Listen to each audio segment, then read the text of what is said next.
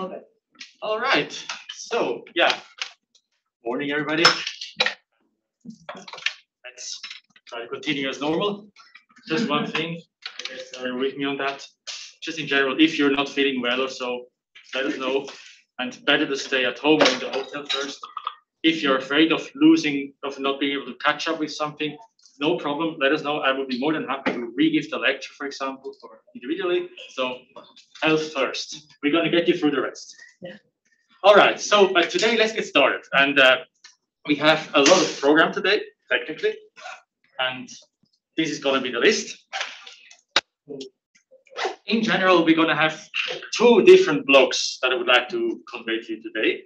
One is to get, to get a bit more started with the workspace setup so they can start coding properly since you now have all the GitHub and VM access figured out. And then we're going to finally go into deep learning, which is going to be what we're doing for the rest of the three weeks. But let's get started um, with the workspace setup. So first message of the day, do it properly and do it now. And what I mean by that is perhaps you have so far been just opening your code editor, making files, putting the data in the same folder, trying to code one thing after the other, and it turned into what we call spaghetti code, which is one file of very big code, and it gets you get lost in the end. That's good for getting exploring concepts, but once you start doing a project, you want to do it well. You want to organize your code folder so that you, after six months, you know exactly what you have done, and that other people who want to use your code can reproduce the results. Reproducibility is key in science. And this also pertains to code. So again, you want to separate code from experiments from data. This might sound a bit illogical because you just, some of you are using just one data set, but it could be that you're using another one. Or maybe you want to subsample your data set and try on a particular region of if you have camera traps or remote sensing data. If you have your data set hard coded in your code, you cannot change that easily. It's gonna get it's gonna turn into a mess. So you want your code in general to be independent from the data. And also you don't want to upload your data to GitHub. A, you can't of this because of the size, and B, you don't want to disclose it the same way. You really want to separate that. And you also want to separate your experiment code. I'm going to get into that. Then you want to be able to explain how to get your code running and how to reproduce the results. Also for yourself, I said, it happened to all of us. You get back to your code a half a year later and you don't know what you've done. It's really bad. You want to make it reproducible. Again, key in science. And you want to define policies. This is also important because you sure you want to get started with the core of your project. You want to get coded and so. You're going to get hacked away with coding. But once you share this, once you put it public on GitHub, for example, you want to define how others can use this. We're in a science world, so we are kind of a bit in a, on innocent terrain, but still you want to define this. So one good way of doing this, it's not the only way, but that's something I could recommend, is something like this. Let's say you have at the top your base project folder. Let's just call this camera trapinator. That's just, let's say this is the name of your project. Give it a fancy name. That's the same name you're going to be using on GitHub in your project. And in there you have a couple of other folders, and I'm going to go through them one by one. But the first one is this .git folder. That's usually hidden, and this is what sets up your Git or GitHub or GitLab repository. You can do that by going into that folder and in terminal typing git init. This is what allows you to synchronize with the repository using git pull, git push, git commit, whatever. That's going to be there with that. Then, very important, you have a README file.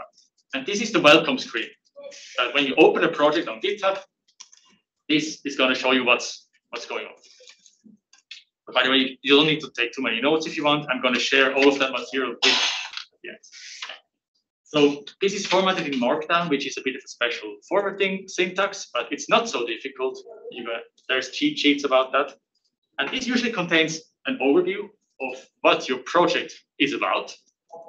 Then some background maybe, like what you're using it for, like what the data set, what the application is, and so on. Very important installation instructions so that you, again, can reproduce how to get the code running. Usage instructions, like, for example, how to train your deep learning model, how to use it for testing on your data set. And then very important citation information. So generally, I recommend don't make your repository public unless you have a paper out of it. Otherwise, someone's going to go ahead, grab it, and publish before you. You don't want this to happen. So once you have a paper, make it public, put the paper in there and say, if you want to use this repository, please cite this paper. Got to put your citation card up as well. I like slightly disagree with that, and Okay. it's mostly just because, um, for all of you, most of what is going to make your projects possible is going to be the data. Um, and I'm not imagining that this code is going to be very different from already existing, at least at first, already existing open source things. So people aren't going to be able to steal your project without your data. The data really is your power here. And I think that there's a lot of, especially for this group, there's gonna be a lot of benefits on these repositories being public so that you can see each other's code and share each other's code easily. And also, I, I just don't think you're gonna get scooped because they don't have your data, so they can't do your research. No, it's not the rule. It can happen. It has, it has happened in our group already.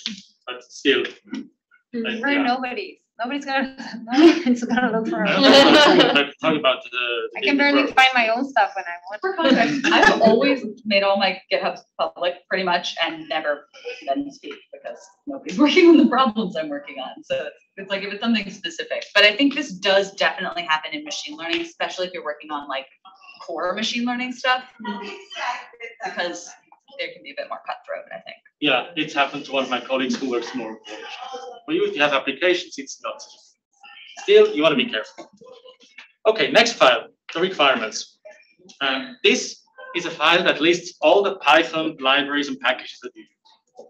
Again, that's for reproducibility, and it makes installation a lot easier. So let me go through how to create that file and what this looks like. So this that text in uh, fixed width font is an example of what a of the contents of a requirements file. You can see here we have, for example, uh, a comment here in green with the hash symbol. Then we have, you see there, it says at the top pandas and then greater equal one for one. That's the minimum version of the library package you've been using. You can do that, and then you can make sure that when someone installs, it gets updated to the latest version. For stuff like pandas, that's perfectly fine for more important packages, like for example, PyTorch, you want to do this, the double equals, which means you fix, you pin the version of PyTorch, or Torch Vision in this case, to what you've used. Yes, What's an auxiliary package? like it's something that, like for example, pandas that uh, is used for data reading and so on, or data formatting. It's like, I, it's just, it's, the boundaries are blurry. I would say, for example, PyTorch, there's a lot of changes happening every now and then, and you want to be, and that's important for your actual deep learning model. So you want to fix that to the version you've used. Also, because sometimes there's bugs, and then people can reproduce why something happens in your code. It's generally good practice. Yes. Uh, I think that- Oh, is this the same as like a a conda YAML file? I'll get to that in a second. Oh, okay. That's the alternative way of doing it. Gotcha. Yeah. Do you generate this file yourself or, uh, I'll get to that as well now. Good questions. Uh, yes, so just one last thing, that's a bit of a speciality because Torch is on an auxiliary branch, so I need to add this. I'll give you an example of that at the end of the lecture. Now, how to generate this? That's subjective. I personally generate it manually because I want to only list the packages I actively installed and not the auxiliary stuff. So I do it like that. You can create it uh, automatically with these commands. I say they're not a good idea, but that's just that's my taste. If you like it, use it. And that's for the pip style. Pip is one of the package managers. If you want, and uh, if you want to be Conda, I'll give you instructions on that as well. You can also use it with Conda, then it's a slightly different syntax. I think I have it somewhere, but the slide order got messed up. Next thing, you want to have a license in there. That you can actually put that there at the end. That defines how to share, how others can use your code when you share it. I have some examples here, like the MIT license or the maybe sort of Creative Commons. Uh, you can go through that in detail. At, at the moment, it's not so important. Just I recommend putting one. Ah, yeah, here's the Conda way of doing things. That got messed up. That's what a Conda environment file looks like, and this you can create automatically, like this. So once you have your environment, your virtual Conda environment ready, you can use these commands to export that to what's called a YAML file, which is a special type of non-markup language definition. And then with that, you can just recreate your environment with one command, and it installs all the packages automatically. You add that to, to your Git repository. You do this on the notepad or whatever is this, a notepad in your this system and then save it with YAML, right? Yes, so what you do is you, this command conda env export, you do that on the command line in your workspace. Yeah. When you have your environment active. Yeah, that document, where do you create it? And then what this does, you see this, this pipe, and then it creates a file called environment.yaml in the current you're directory. Exporting it from your environment, so next time. you have it- Exactly. Okay. Your- And it lists all those packages for you. so You- don't have to- You're dumping all the expa- packages into file environment.yaml. And this file you can add to the GitHub. repo. I guess I was still thinking about the requirement dot text file. It's exactly the same principle, just this is for conda, the previous one was for Pip. Oh, okay. Yes, Pip. Sorry, I misunderstood. Did you, you said you prefer to write it out manually? Yeah, that's just me. I use a requirements file because pip is more universally used than conda. Okay. And I write it manually because then I only list the packages I installed. Like if you install PyTorch, it comes with a million other packages. Right. But Uh, they get, the the file gets messy and you don't know what actually is being used. like hundreds of packages. With that, I really. So if you do the pip freeze bit like that, I just- everything that you, like this. It's the same as this, but it's pip syntax. Yes, like loads and loads. Also works, but yeah, it just gets a bit more cluttered. Yeah, yeah, yeah. Would you ever do the pip freeze and generate automatically and then just go through and delete the messy stuff? So like a hybrid version? No, you do the pip freeze, just leave the file as it is. Okay. because then it really pins all the packages used. Otherwise, it might complain that some are missing. Yeah. Just either define them manually or use conda export or pip freeze and then just leave the files as they are. Briefly, I've seen YAML with an A and I've seen just YML. What's the difference? same. Okay. So it's like JPG and JPEG. Yeah. That's from old Windows, those times when file extensions were only three letters. But these days they can be as long as you want. So it's compatibility. Doesn't matter. Right, then next file. That, that's actually a file, not a folder, sorry. Uh, dot git ignore. That's important. That allows you to specify stuff that should not be pushed to the Git repo. And you can see some examples here. First one is some code editor configurations. Like if you're using Visual Studio Code, you get this hidden folder .vs Code. You don't want to be pushing that to GitHub. No one cares about your VS Code setup. Then Python compiles your code at runtime. It creates cache files. These are binary files. And again, you don't want to be pushing that because people can there can compile that themselves using Python, and it depends on the platform. Put them in. Stuff like if you have your deep learning model and you save them to intermediate, you save the weights to different uh, files. You don't want to be pushing that because these files are huge, and again, no one cares about the intermediate model states. That's like the intermediate output. Um, so when you train a deep learning model, you do that in epochs, which means full one epoch is a full iteration over your data set. And usually at the end of epoch, you save it. And what I do is I save one model state every epoch, and this can get very long, big files. You don't need epoch zero, for example. If you want to provide one, provide the latest epoch. Just temporary cache files in the sense that you don't want to be pushing to it. And then stuff if you have log files and so on as well. Yes, So you'll be manually putting in some of these things. this you can put manually. I can give I can give you a git ignore file that has most of the common stuff included, but you just can add one or two folders that you have. Like for example, so if you have a dataset folder, you want to don't want to put that in, put it into the git ignore, and it doesn't get synchronized.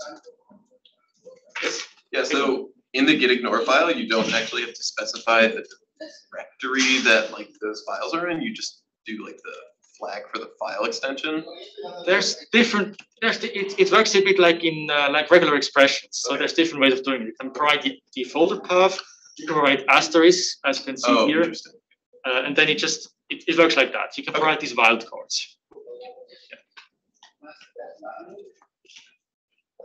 Yeah, and also on macOS, you're gonna have these hidden, hidden system files like .DS sto- store. Put that in because then Windows and Linux users are just not gonna like it if they download these useless files. Right, then, that's actually the most interesting part, your main code goes here. And again, this is subjective. I recommend make the code, make one folder where all your code goes and name it the same as your project, for example, or name it code. Just that it is logically organized. So there is where you put all the Python files. Right, then you want to publish that. I heard you've all been using Git, GitHub and so on.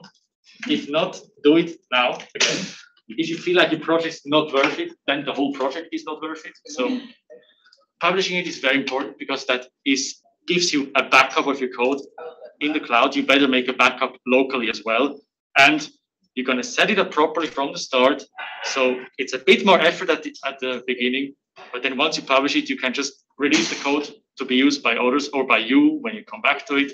You can synchronize it to your VM. It's a bit of an extra mile in the beginning, but do it. It's going to save you a lot of time. So this was basically the code setup.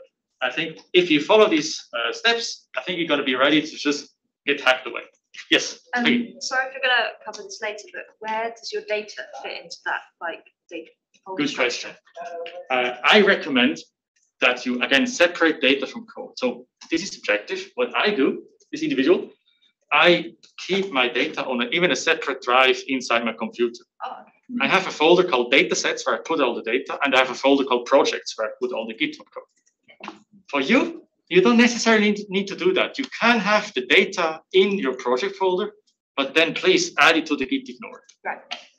That's, I'm going to show you an example at the end. We're going to do exactly this.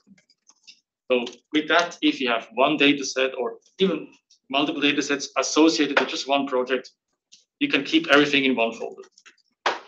Just and then make sure not to push it to. Yeah, that's what I was gonna ask, if you can add it to Git. Exactly.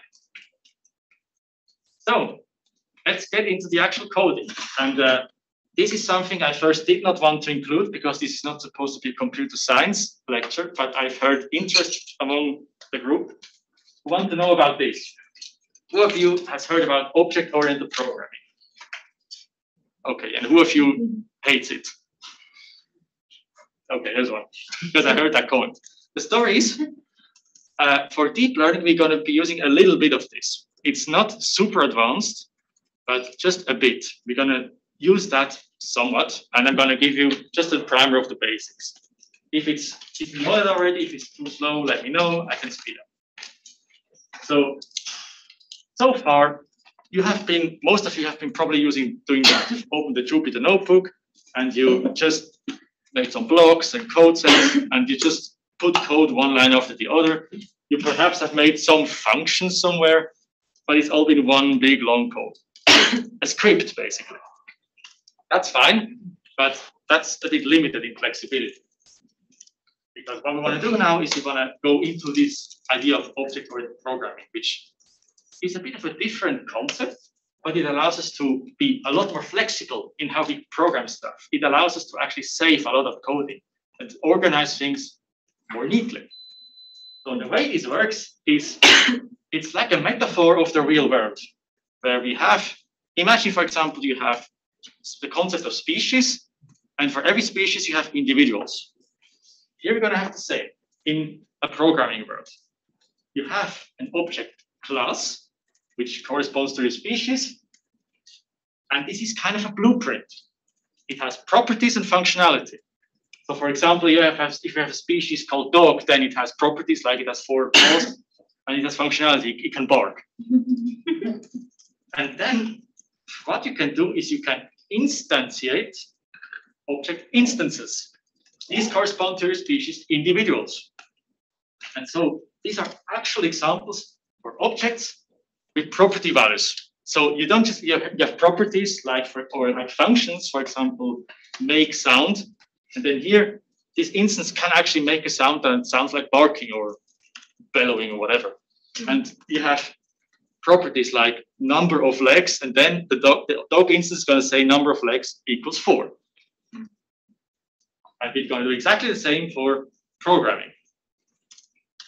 And uh, so let's say we have, let's take that example. We have an object class. Let's make it even bit more general called animal. And we have properties like the species, the age, sex, etc. You, you can add as many as you want. And this animal can have can, has capabilities, abilities, like functions in this case. You can define functions that we can call on these animals, like make sound. But you don't know what kind of sound this makes because this is just a general animal. But this is just a blueprint. And what we can do then is create instances. So we can say the first animal is a cat. It is age 12 and it is a male cat. So we make examples, instances of this blueprint by filling in these attributes like species, age, sex, and so on. And make a second animal. Like this case, it's a dog. It's three years old and it's female. And I think if you the, the reason behind this is that you don't need to define an individual cat or an individual dog, or if you, or if you have 10,000 cats, you don't need to redefine that 10,000 times. You define mm-hmm. one class and you just draw 10,000 instances, which is a lot more easy to do with programming. Is this when you're teaching the model? Is this when you're teaching the model or not? I'm lost. What, what part of the, of the model building Um, okay, I can jump a bit ahead because that was at the end. Uh, for models, you can you can imagine that, for example, a model is a class, right? And then its properties could be its parameters.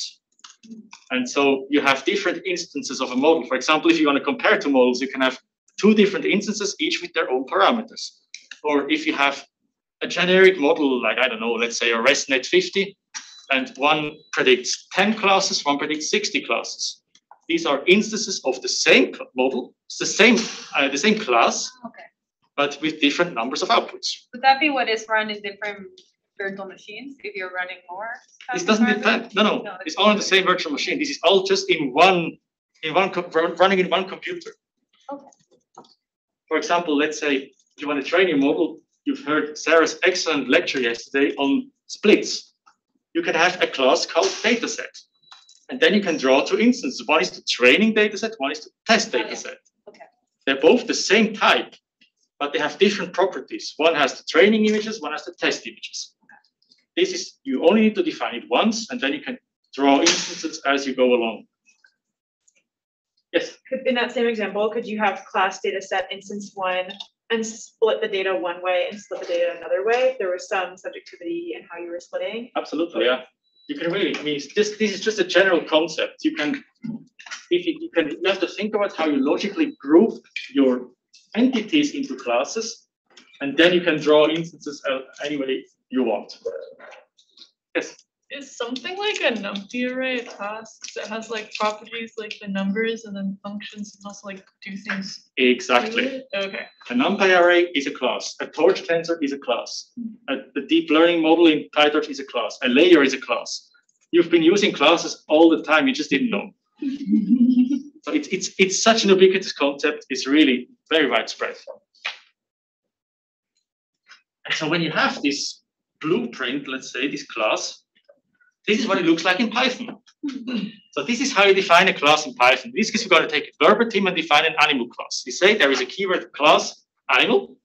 That's the name of the class. And then in here you have two functions. You see the def means define. That defines a function. And uh, what you can see in there is, first of all, you see exactly these attributes that we specified.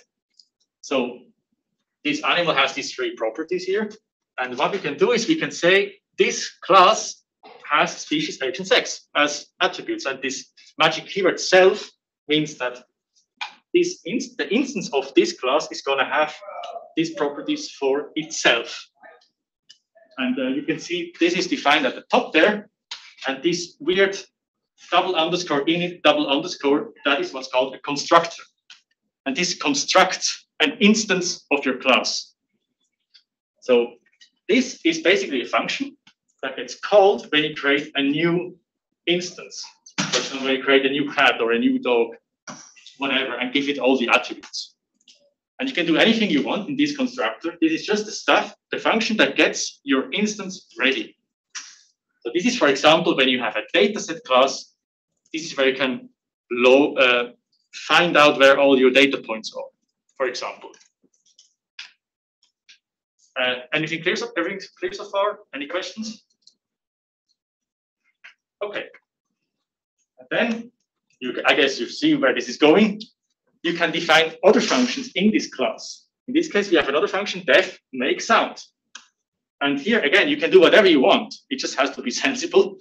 So this case is borderline sensible, but you, it's just for demonstration. We have this function make sound, and you can see what's happening here. Uh, it has an first, it has an argument, a variable self. You always put this in the class functions. You always have this self, so you can access the class instance own properties. So in this case, we do that. We say if self.species mm-hmm. is a cat, you print meow, otherwise you print boof because it's a dog. so you see, you see where this is going, I guess. And with that, you can really define abilities of a class depending on its parameters. So for example, if you have a dataset class, you can say you're going to have an, a function called get item, which gives you a data point at a uh, in your dataset, and depending on if it's a training or a test dataset, it's going to give you different results, right? But the function is the same, no matter if it's a train or a test dataset. The general function, the blueprint is the same.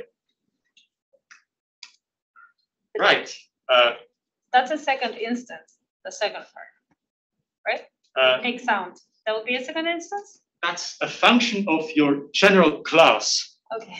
That's not an instance. You have a class, which is the blueprint, and an instance, which is a, a version of your blueprint with, with properties. So like you can have, if you have a class cat, then instance could be if you have two cats, they are two different instances. And yeah. Peggy?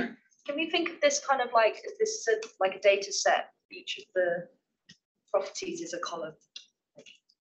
You can specify this if you want. So properties in a dataset, properties could be, uh, for example, if you're working on images, properties could be a list of images and a list of labels. And then, of course, if you have a function get item, get at position X, you return the image and the label at that position.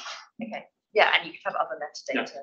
So properties are, I mean, in principle, in the blueprint, properties are just the variable names. Yeah, okay. And in an instance, you fill, you populate these variables with the actual values. So yeah, you can create dogs of different ages and whatever. So, and then of course, here's how you actually create instances. You can see this at the bottom. You see at the top is our same animal class as before with the constructor and the make sound function, the, what it can do. And at the bottom, we create two animals. And that's exactly what I've shown you before. The first one is our first instance, where we say animal one, that's a new variable. We, we want to store this instance in a variable, of course. That equals animal, because animal is how we defined our class above. And then just say, you give it the arguments in order. We have, you see, we have self, you don't give that, that's given. We have species, age, and sex. So species, cat, age, 12, sex, male. And that gives you a cat that is 12 years old and male. And you can do the same with the dog. And of course, analogously, one could be the training set, one could be the validation set. If you have a dataset class. And of course, then if you call this function make sound on the first, on animal one, it's going to output, you guessed it, yeah, because it's a cat. We define that in that function. You can see that here. So we have our two instances, the cat and the dog, and we say animal one, which is the cat, dot make sound. This again with the dot and then the function, you've been using that without knowing. It outputs meow because we have defined that. uh, If you do it on a dog, it outputs. So we use the two instances, but we use the same function, and the function decides what to do depending on the properties of the instance. So this is in principle how object-oriented programming works. There is a lot more to it which we don't need. I think we're gonna be good with that. So, yes, So if, this is a, might be a tangential question, but if it's not object-oriented programming, what, what is it oriented towards? if it's not object oriented, you usually call it a script. It's just scripting. Okay, Yeah, so in principle, for example, most of Python and R are actually scripting languages. And I'm not sure about R, but yeah, Python has some object-oriented programming support built in, yeah. But in script, you just define one after the other, and then if you have, if you want to have different data sets, you just have to define them twice, even though it's the same concept. Yes, Are dictionaries a type of object-oriented programming? Like if good question. Dictionaries, dictionaries. Um, technically, they're probably implemented like that. In Python, they are more kind of a primitive data type, like a list. Gotcha. Yeah. But in but in principle, I guess you could imagine you could implement your own dictionary in a class. So if you have different different dictionaries with different values, there could be different instances of the dictionary class. It's Exactly that. Yes. Are there common classes that, for you all who read these types of codes online, off, or like see these types of codes in paper, like, if we just like suddenly created a class called like, I don't know, like results, would that be like less expected than maybe like a class called data set and a class called model? I guess is there like some standard for classes that we should be trying to think about for our code? Yes, so in general, you have to be aware that this object-oriented programming concept of classes only makes sense for when you have entities in your code. A data set is an entity, a model is an entity. But results, Yeah. you might have a results class if you have lots of results and you want to group them and you want to have functions applied to common results, mm-hmm. but it's less common to do that. So you can mix the two. You can say, my model is an entity, is a class, my dataset is a class, but the results I just store as, as floating point values, which is, which is what we're gonna do. We'll look into this more in Sarah's lecture tomorrow. We'll go through like open source code bases and point out specifics, so. Excellent point, yeah. I'm basically gonna be going through like how, trying to give you guys the intuition of how I figure out how to get someone else's code to work for my data. Useful. Very good. All right. And again, this is what we've been talking a lot now. You've been using classes most of the time. You can, here's some, here's some sensible ways of using classes. Like on the, on the left, you see a random forest classifier, and it has its constructor in it. Very for example, say it has a certain number of trees, if you know random forest. And you have a fit and a predict function. You, I don't know how it is in R, it might be called differently, but you get the idea. One is to train, one is to test. Or in the bottom left, bottom right, you see a model class. That's actually, for example, that could be a deep learning model. It actually is one here.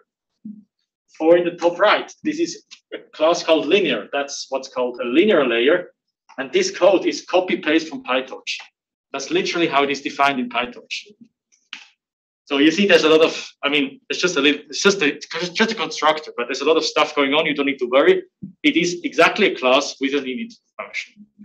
Yes, Why does it say linear in parentheses module? What does that mean? okay, yeah, that's, uh, don't need to worry about that too much. We're gonna be using that. It's not so important. What this means is if you can put object-oriented programming a step a level further and say you have classes that inherit from each other. Oh, so it's So- like having animal species and then instances Eh, like. Well, instances, Eh. instances are still separate, but you have, for example, uh, I don't know, kingdom, genus, family, uh, Yeah. species. Because you have some, some classes which share the same ideas. For example, in deep learning, uh, you have layers, right? So you've heard of convolutional layers, for example, or linear layers. They all have a function called forward, so you can predict. Or machine learning models all have a function called fit or predict. And what you can do is you can define a base class, machine learning model, and then a subclass, random forest, generalized linear model, etc., which inherit. So That's a bit more advanced object-oriented programming. We're gonna use it, but don't worry, it's very simple. Yay. Right. So now, let's finally get into this, into it, with PyTorch and deep learning. So, little preamble, we're gonna recommend PyTorch. If you're already using something like TensorFlow, no problem. It's just if you're new to deep learning, seriously, go for PyTorch. It's simple, it's very fast, and it's very easy to understand. The only reason any of you should use TensorFlow is if basically there exists already an open source code base that is doing very similar to what you want to do that's in TensorFlow. But just know that the debugging will be harder, um, and we will help you with it. But PyTorch is definitely a more interpretable language to start with, for sure. That we'll, be- we'll be helping with that. Many of the concepts, the concepts are the same between the two. Just the implementation details are a bit different. One is from Google, one is from Facebook. We use the Facebook one. Honestly, a lot of people at Google use the Facebook one, and it's kind of like a constant. Now it happened. Microsoft had their own and then they all switched to PyTorch as well. So Oh, Their own got, their own got dropped. That's just, yeah, that's just how it goes. So, but before we get into PyTorch, let's get into deep learning itself, how this works. Because this is, it is related to classical machine learning. If you use linear regression, you've already used machine learning. But deep learning is, has its extra steps. So let's say you have a data set of images and labels, of sound recordings and labels, of uh, images and segmentate pixel-wise annotations, of images and regression values, whatever. Dataset with X, the input, and Y, the labels. What you do first is you load this data. Because deep learning uses such big data sets, you cannot put them all into memory. You load them one by one or batch by batch. You remember Jason's lecture. A little bit of data augmentation. Björn is going to talk about that later on. But what you do now is just say you load, let's say, for example, one data point, which I'm going to take the pixel by segmentation example, gives you an image and a ground truth. You see on the left, that's a uh, remote sensing image in false color infrared, which is why everything is red. And on the right is a ground truth, which tells, in this case, it's segmentation. So it tells us for every pixel what the what the land cover class is. It might be a single label, it might be something else. This really depends on your application. So for camera traps, you might have bounding boxes there. But here we're gonna have that, just for demo. And then what you have is your model. And the deep learning model, I guess you've heard a bit about it, you've maybe read a bit about it, is really is a is a stack of layers basically. We configured and ordered in a sensible way in quote marks that extract features. I'm not going to go too much into detail on how this works. I guess we're going to tackle that in the reading groups a bit more. But what you do is you take this image, you feed it through the model, like you do with, for example, a random forest or a linear regression. And in deep learning terminology, this is called a forward pass. You put the image or the data point forward through the model. And then you get a prediction out. Exactly the same as in other machine learning models. So far, so good. Now, this prediction, in this case, looks sensible. There's a bit of error, right? So what you want to do is you want to make this prediction as close as possible to your ground truth. That's the step where you learn on your data. Machine learning is just learning from data. And what you do is you compare the two, the prediction of the ground truth. And you do that by what's called a loss function. It's also called a criterion sometimes, but generally it's a loss function, or sometimes even just a loss. And there's multiple loss functions available. For example, for regression, you've heard of least squares. That's just you take the square difference between your prediction and the ground truth, and you minimize that. Least squares, minimize the squares. For classification, there is others. One is called cross entropy, which is the most common. Uh, don't worry about that. It's all implemented in PyTorch. We can explain you how it works later. But in principle, you have different loss functions, and you want to choose that carefully for your for your task. In this case, you're going to use just cross entropy. It's not written anyway. This gives us uh, this gives us in the end, if you sum it all together over all the pixels, a single value which tells us how accurate is the model. If the output is zero, the model is perfect in every location. If the output is high, the model is really bad. And now we need to do something with this value.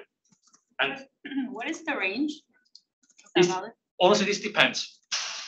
you cannot say that in, in advance. It depends on whether you sum over your data points, whether you divide by the number, what values you have.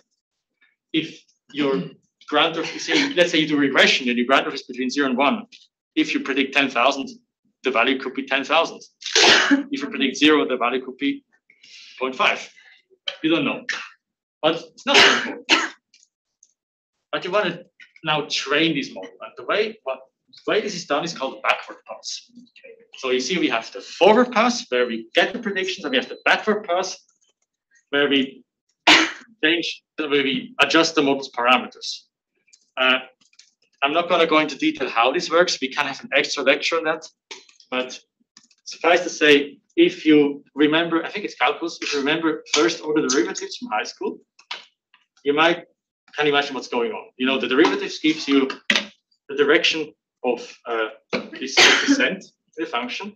And what you do is you calculate the first order derivative of your loss, and then you want to minimize this loss. So you follow the you follow the direction into towards the zero.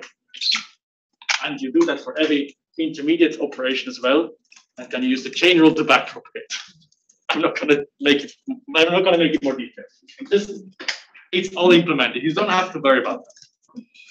And then what you do is you get what's called gradients, which is when you calculate this first order derivative with respect to your prediction at the ground truth, you get gradient values. And these tell you for every parameter in the model, you need to go into this direction, you need to go into that direction. And then you apply these gradients to the parameters, and so you iteratively refine the model so that it gets a little bit better the next time.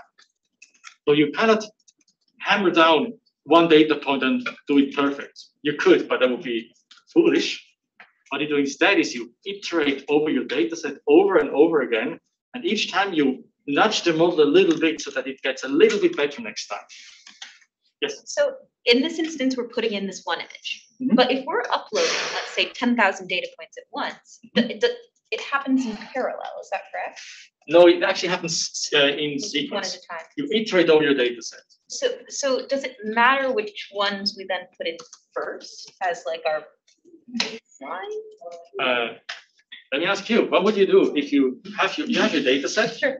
And you want to train the model, what, what order would make sense to present the training data points to the model? I mean, I- if I have, let's say I have five classes, then I would say one from one class, one from another class, one from another class, one from another class, and then do it like one, two, three, four, five, one, two, three, four, five. I don't, that's what, That could be done, I don't know, that's what, that's what I was thinking. that could be done. So that it's not learning like, one of my, if one of my classes is a species, it's not learning all of one species at once, or, I don't know, I don't know if that's important. Is it important? That is important. Yes, okay, Um, because if you put all the species first, then the model is just gonna, it's just gonna attack those species and it's gonna forget about the rest, right? Right. In a sense. The effect is not so bad, but there is a much simpler way of dealing with things, especially if your data set is large and IID. Sure. Anyone has an idea? oh, okay, yeah, that makes, that makes a lot more sense. you just shuffle your training data set over. Sure, And you shuffle, you, you shuffle it each time you make an, you make a new pass over your data set. Okay. So just randomly expose the model to all the data points. Because it's, it's actually quite a nice notion of fairness. You want to treat every data point with equal chance. So you, if you treat them equally, you just uniformly randomize the role. That's what, that's what everyone basically does. But I think one interesting thing here, and this is when I talked a little bit about ways that you might want to think about your, if you have very imbalanced data, then what you were talking about is really true. Like you don't want the model to, almost if you have ninety percent of your data is empty and, you know, ten percent of it is the thing you care about. Mhm. Even if you randomly sample, it's still only gonna see the thing you care about, like a little bit at a time. Right. And it might actually learn that it's like more important to just focus on the empties. sure. And actually, it could really just learn to predict empty all the time. And technically, it would be correct ninety percent of the time, Sure.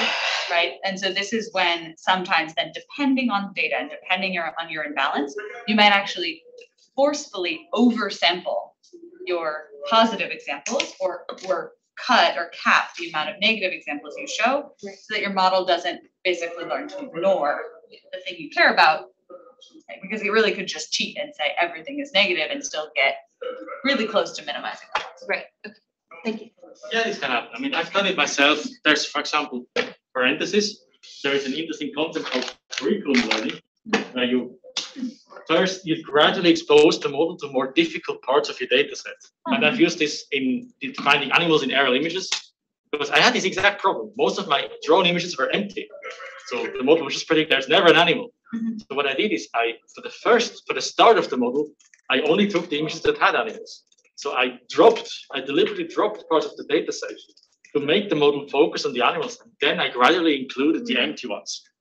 Mm-hmm. And you have, you can do that, that, that works because as your model starts to learn, the signals become less strong in that the model starts to be somewhat good, and then it really needs a very bad misprediction or bad label for the model to overturn. Yeah. So you kind of let the model settle in on the animals, for example, and then you it's still it's going to be good at the animals, but it's going to be bad on the background, and then you settle in the rest on the background. You gradually expose it. You can do this. It Doesn't always work, but in my case, it worked pretty. Right. So, but in principle, this is the deep learning workflow. Sample data and labels. We make a forward pass. We get the predictions. We calculate the loss value. We do a backward pass, and we update the parameters. These four, five steps. Good. Let's look at uh, a bit of side step. Deep learning, as you know, is everywhere. So if you browse on Amazon through related products, if you have a self-driving car, if you have a smartphone, if you have a Facebook account, you've been using probably 60 or 100 deep learning models already. So it's really everywhere. So it also has industry-grade applications. So there's there's armadas of people optimizing deep learning models for, for example, a cell phone. But we're not there. So what we do, you can have the prototyping stage where you start training a deep learning model as a proof of concept or scientific applications. That's stuff like you can use Jupyter, Python, and maybe C++, whichever. Then you can have large scale model training. That's, for example, the big ones, Google, Facebook, Amazon, which sometimes have models that take a nuclear power plant to train because they just scale up like crazy, but they have the infrastructure to do so. And then you have commercial implementations that run on your cell phone. But yeah, you can actually do this kind of loop if you want, but that's really very computer science-ish. We are here and we're gonna stay here. Because this allows us to make models that are sufficient size and work for our data sets. We don't need to be running a camera trap model on a smartphone. That would be computer science field, software engineering. We stay here. Good. Now PyTorch, what is it and why? So you might have heard, you have heard of NumPy, which is for matrix operations. You might have heard of SciPy, for example. PyTorch is this basically. So it has most of the NumPy functionality, almost all of it, but in its own tensor format. And it has, in addition, all of the deep learning stuff. So it allows you to design deep learning models to train them. It has parallelization, and it allows you to also go into production. And this parallelization part is important. So you might have heard of GPUs that we use, sorry, I mentioned TPUs yesterday. In principle, the idea here is that deep learning models are so big that you don't want to be running them on your processor, on your CPU. And so, for example, if you, the reason for that is that deep learning models have many more parameters to learn. Now, what is a parameter? So if you have, let's take, for example, linear regression, AX plus B. A and B are the parameters. These are the ones you learn from your data. These are two. Deep learning models have millions, sometimes billions of parameters. And if you take a CPU on your computer, it has to go through each parameter separately, which takes forever. The good part is here is where we can parallelize. Especially for images and also for audio and so on, most deep learning models are designed in such a way that you can apply the same operation at every location in, for example, your image. So if you have a CPU, it has to go through the, it starts to start at the top left corner of an image and go through it until it reaches the bottom right. What we can do instead is we can use a special processor that does all of those bam at once. And that's this we can do, for example, with a graphics processing unit. people have discovered this because these GPUs, they do these parallel operations. They have to render every pixel here. You don't want to go pixel by pixel when you draw something on the screen. So you want to do the same operation everywhere. So these GPUs are good at this. And they're we, we can use them to optimize deep learning model execution, and it's going to be a factor of maybe 200. So it's a difference if your model takes five weeks or a day to run. And that's why later on we're going to switch to virtual machines that have such a graphics processing unit attached to them. Mm-hmm. You might have wondered why you need a GPU if you only have a virtual machine. That's why. Applications like this. PyTorch allows us to use those very easily. Here's a little bit of a cheat sheet for you if you want that uh, tells you if you know NumPy operations, you have the PyTorch and the torch tensor equivalent. There's more of those. I'm not going to go too much into detail. I'm going to give you the slides at the end so you can look those up if you want. But you can see it has the same operations built in. And as said, it has this graphics processing unit support. So here's an example. So what we, what we do here is uh, a mouse pointer. Anyway, let's make a quick example. First, we make a tensor, which is the PyTorch equivalent of a NumPy ND array. And we fill it with some random numbers. In this case, we give it the size, three by four, just random numbers. At the moment, in the very first line, once we've executed this, we've made a class instance of a tensor that sits in system memory. And now we want to put this to the graphics part. It's very simple. You say tensor.cuda. CUDA is the NVIDIA library for, for calculating stuff on the GPU that is not graphics. It's what PyTorch uses in the background. So we just say .CUDA. We can also say tensor.to and then specify the device. In this case, we put it on the first available GPU. If you have multiple graphics cards, we can say we put it on the first one, number zero or number one, whatever. And then we can do calculations here, the same as on the CPU, like for example, run for a deep learning model. And once we're done, we need to put it back in the system memory. So we say .cpu or .to CPU. So the reason for that is that the conventional systems, you know, you have your processor and you have your memory you store stuff like variables. And the graphics processing, the GPU has its own memory. It cannot access the system memory. So it does its own mem it does its calculations on its own memory. So when you do stuff on the GPU, you need to transfer the variable content to the to the GPU memory, do your calculations, and transfer it back to the system memory. That's just a bit of a historical artifact. It's going to change very soon, actually, because they're going to develop special things. We're going to use that. It's very fast. You will see. Any questions so far? So good. Okay, So if I understand it right, basically like the scripts that we currently run use our computers like RAM, Yes. and now we're switching to like a different part of the computer's brain.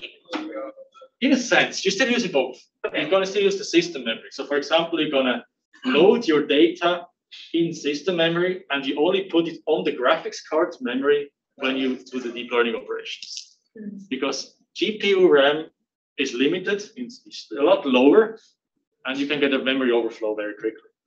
So you want to optimize this. Yeah, it's just it's just two different parts of the computer that we're going to use. One is optimized for parallelized operations, one is optimized, uh, optimized for difficult individual operations. We're going to make the best use of both. I'm going to give you an example of how this, what it looks like. So let's actually do that. Let's dive in and go into this code folder you've seen in the beginning where you put all your Python scripts. So for deep learning, as a bare minimum, here's what I think you will need. You'll need a file called dataset.py where you put your dataset uh, class. Makes sense, right? You need a model.py. Here's where you put your model class definition. So, for example, if you use a ResNet 50, this is where you define it. And then you need the train.py. This is where you train your model. And this is more script organized. This is where you can pull in the data sets, create data instances, create model instances. And here's where you do the forward and the backward pass to train the model. And then you can have a test.py where you actually test the model or to prediction on the test portion of your data set. I think with these four, you're already covered. You're gonna have some special ones depending on your code setup. You have some utilities and so on, but these are the core ones. Good, let's go into that.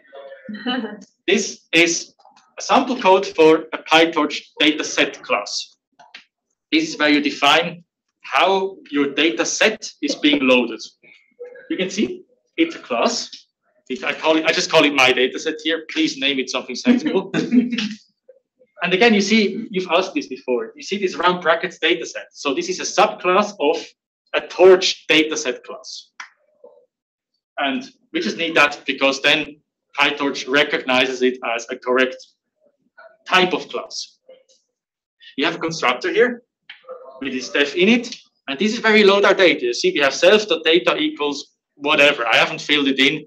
This is where you basically not load your images, but you register which data points you have. You don't put them into memory yet. You just say, I have 10,000 images. These, these are the file names, for example. You don't want to, you don't want to load images here because otherwise it's just going to get a memory overflow. We're going to do that later. The next thing this function, this PyTorch dataset class needs is a length function. This underscore underscore len, again two underscores, this just tells you how many data points you have. So if we have defined self.data, it's just going to get just the length of self.data. Very simple. And then to actually load a data point, we have this get item function. And this takes one argument, x or whatever, and this tells me, give me the item at position x. x is a x is an integer. So x could be zero, which means give me the very first data point. And we do that here. You see, we get the item from self.data at position x because it's a list. We load, here is where we actually load the image. So here we want to load the image or the audio uh, capture, whatever you have, into memory. Because this is when we need it for using it, for usage in the deep learning. We transform it into a tensor. I will get into that later. We get the label. This is the ground truth. Let's assume we have that in item. And then we return both. We return the image and the label. Input, target. We return these two things. Very simple. Yes, Mikey. So do these definitions have the double underscore because they're required or because they're like special names or? Because they're special names. Yes. So Python, some Python classes have some defaults. Len is one of those expected function names. If you call len on something, this is len on self.data. Self.data is a list. A list is a class. And this class list is going to have a len function. So when you call this, it's going to call that. It sounds a bit strange, but trust me, that's how it is. So, so basically like, um, the PyTorch has a dataset class already defined that has a ton of built-in functionality. Um, it will, if you want to train on batches, it will then like load batches and make them all formatted in the right structure to be able to go into PyTorch models. It does like randomization, you can probe it. It has a ton of stuff already built in. You don't need to write any of that. Like it's already there. But what you do need to do is it has its own already like predefined initialization length get item functions, but they're basically empty.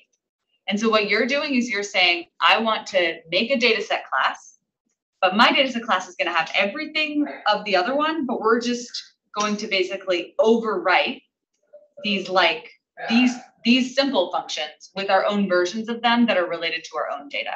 But then you get all that other stuff for free. So it's called like class inheritance, basically. You're inheriting everything from that original class, and then you just change what you need to change. And you can go look in the code for PyTorch. You can look at that class and look at all the stuff it has built in. And you can overwrite any of those functions yourself just by using the same name from the original PyTorch class. And you can also make your own functions that are just for your stuff and add them so it can have additional stuff. Yeah, We will actually look into that. yeah, cool. Yes. Oh, so what if you didn't change the len? But I'm just confused why you have len in here, because it looks like they already have the len function and all you're doing is returning the len function, so are you even changing anything? Can you imagine why? No, that's why I'm asking. So Sarah just said there is a base class. You can see we actually imported it at the top. There's a base dataset class which has a len function built. Yeah, which you're calling here, aren't you? I'm not calling it, Oh. I'm Oh, I see. defining it. Wait, but then what it, you're Why am I redefining it? Wait, hold on, are you returning the length of self dot data, so that, the thing that you're returning, in there, you're not calling? That, that you're calling another length function? Like, where, where's the len thing come from? Not the underscore one, the other Is one. it 'cause when you're it- returning. That's a, that's a built-in Python function that just gets the length of a list. Okay, Yes. okay, And got it, our data here has been Okay. defined as, got it, as self.data, but we Okay. define that ourselves too, right? okay, yeah. So the built-in function wouldn't know that we Got it. decided that our data was stored in self.data. Got it, wouldn't know where to look, so we have to tell it where to look. good, thank you, thank you. Um, so would this be helpful, this ability to overwrite? Like I noticed that the data set loader expects, I think your data to be in a certain format. Yeah. So if your data is not in that format, you can basically like do this and then instead of having to like reformat all your data, you just like change this. Absolutely. Okay, I get it. So that's, it's called a custom data loader, and basically all of you will need one because honestly, your data format is something that isn't like, yeah, it's gonna be its own thing, so. I feel like I need to clarify one thing here that everyone is mixing up. The data set and the data loader are not the same thing. So what you do, your job is to define a data set class, which is a type which has these three functions. It it uh, registers all the data points you have. It tells you how long the data set is, how many data points there are, and it gives you a function to load one item. That's the data set class. It gives you an interface, say a function that tells you, I want to get item at position 10. The data loader is what calls this function. The data loader is the one that does all the batch composition, the randomization, the multi-threading. That's, you don't need to touch this. This is built in PyTorch. Yeah. But the data set is where you define what your data set looks like and also how you want to load your data.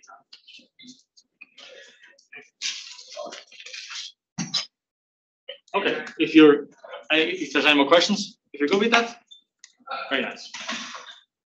We can do exactly the same. Yeah, so you see it again, I have some explanations here. We have constructor where you index the samples and uh, we don't load the data yet because that would just crash memory. We have the number of samples that we return here. And here's where we actually load the item at position X. So usually you want to have your image as a torsional tensor and your label also as a torsional tensor or as an or as a or as an integer. Also. Then we do exactly the same for the model. This is our actual deep learning model. So again, we define a class. I'm just going to call it LeNet because that was one of the first deep learning models that we made. And this is another subclass of nn.module. And module is anything that has a forward and a backward pass. A deep learning layer has a forward and a backward pass. A deep learning model has a forward and a backward pass. So it makes sense to clump that all together into nn.module. And here again, we have a constructor in it. In this, in this case, takes one argument num classes. So we define how many output classes it has. And then you start defining your layers. You have you can define the, convol- the 2D convolution layer, for example. You see, it's another NN class. It's all in NN for neural network. And we're gonna get into details there. That's not so important for you to know now. It's just here is where you define the layers of your model. Then if you scroll down, you have one more function, def forwards. This is where you define the forward class. So you get a data point x. In this case, this is this is your image as a tensor.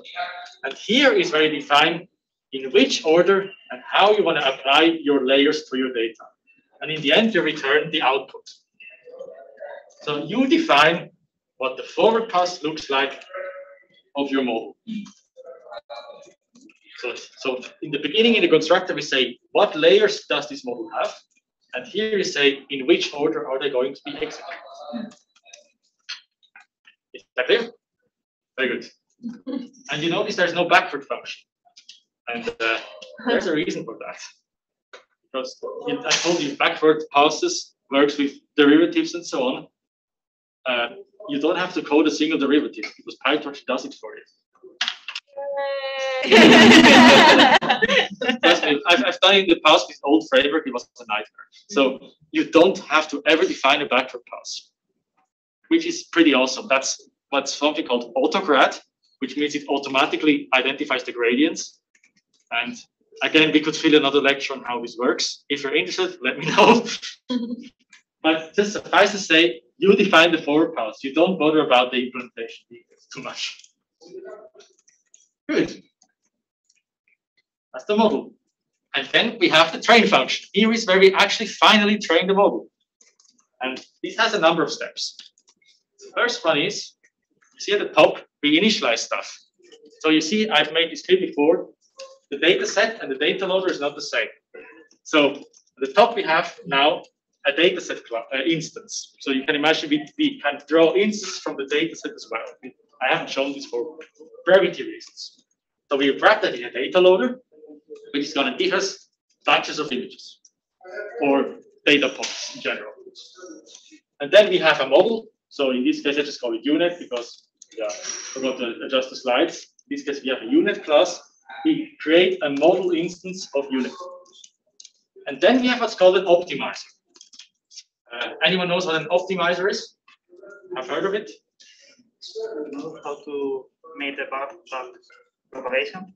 Like they are you are giving like the learning rate, like not no learn a lot, and also like the gradient descent, stochastic gradient descent, you are saying like don't, don't find a local, try to to to find a it goes into that direction exactly yeah. So i told before that deep learning models are trained with, with by calculating gradients based on the first order derivative you cannot just say apply these gradients to the model weights. Could for example add them on top.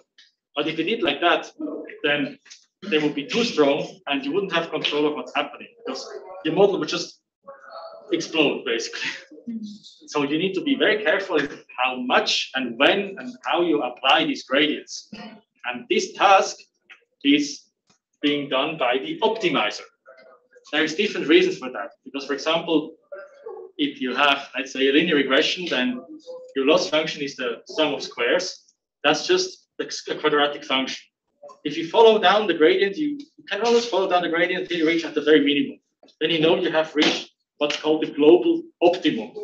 That is the, in, in a quadratic function, the, for example, y equals x squared, the point at zero is where you have the lowest value of the function. You cannot get any lower. That's the global optimum. With deep learning, we have millions of parameters. The function is very difficult. You, you're not sure if you can reach the global optimum. You can get into what's called a local optimum. Like if you have a little bit of a slope and then goes down. If you if you are trapping this little bit of a slope, you cannot go further down. So your model is going to be stuck in a bad configuration. And there's different ways of how to overcome this.